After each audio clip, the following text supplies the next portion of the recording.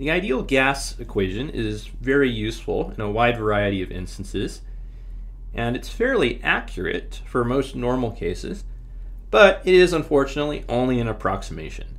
And approximations always have limitations where they start to become really bad approximations. For our ideal gas equation, that's going to be true at low temperatures and high pressures, and even some cases where we have gases like water vapor, where there's very strong attractions between the molecules themselves. So our solution in these cases is going to be to invoke the idea of real gases. And so we're going to need to build a model for real gases. Our model is going to have two pieces. We're going to now allow molecules to have volume according to the ideal gas picture. They don't have any volume. And we're going to allow them to have attractive interactions. And the ideal gas approximation says molecules don't have any interactions. The development of this model comes to us in 1873 from the Swedish chemist and physicist Johannes Diderik van der Waals. And he fixes both of our, our missing components in the ideal gas equation. The first thing he does, he fixes um, our ideal gas equation in order to give molecules volume.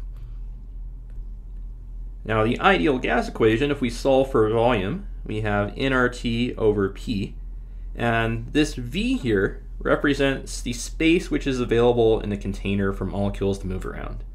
And we saw if we cut that space in half, the molecules would have half as long to complete their journey before they would collide with the walls of the container. And so we would have twice as many collisions and that would double the pressure. So so this volume is inversely proportional to the pressure. Well, in actuality, the molecules themselves take up some of the available space. Let's say they take up space B. Now, in this picture here, you can see the molecules um, are freely wandering around as a gas. let's just, for visual purposes, say that we collect all of them except for one in the bottom of the container. Well, the volume of this region would be the number of molecules times the volume per molecule.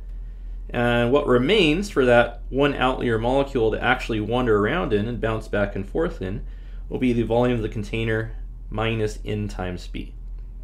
So that's going to be our correction that we're going to make.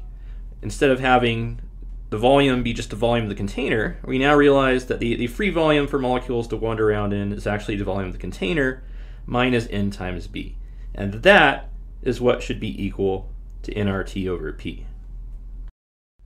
The next fix that van der Waals incorporates into the ideal gas equation is he includes the intermolecular attractions.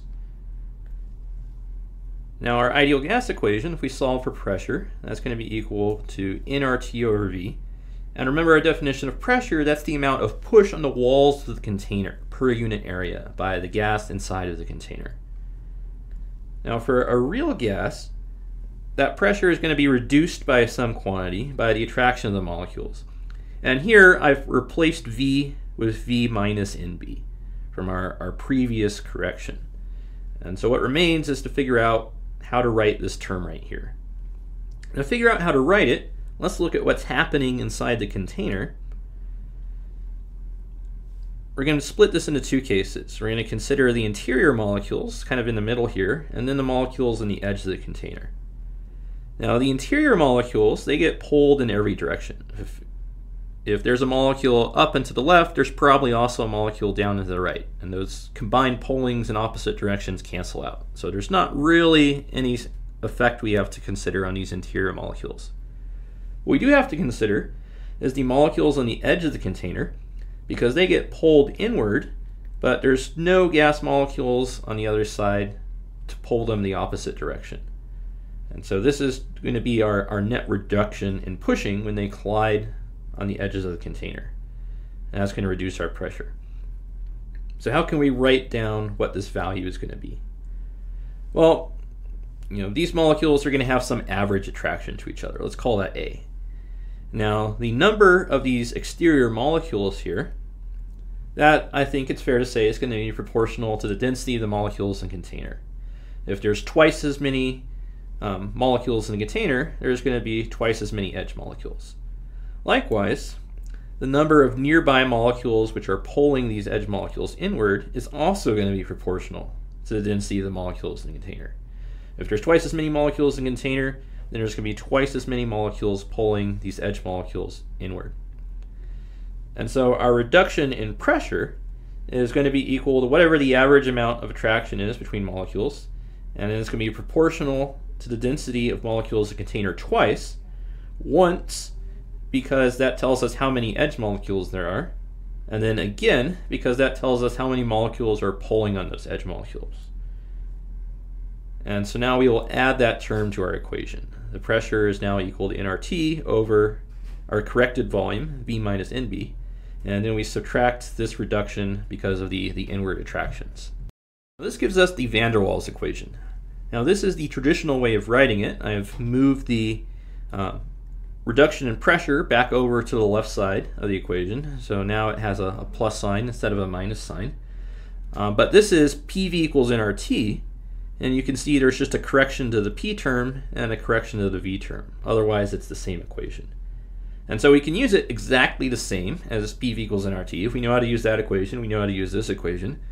The only caveat is now we got to look up what A is and what B is for the particular gas that we have in our chamber. And be careful here in your units. Make sure they all work out and cancel. Remember, so in this model, um, A, that represents the average attraction per molecule. So our, our pressure overall gets reduced by those attractions. And B represents our volume of individual molecules. And our, our volume gets reduced by the total volume of gas molecules in the container. Now the reason we need to use this is it gives more accurate results than the ideal gas equation. Usually at one atmosphere of pressure and 300 kelvins, you know, normal pressures and temperatures, it's not such a big deal. We'll get pretty much the same results either way. But differences can become significant, especially at low temperatures and high pressures. In those cases, we're going to want to use the van der Waals equation instead.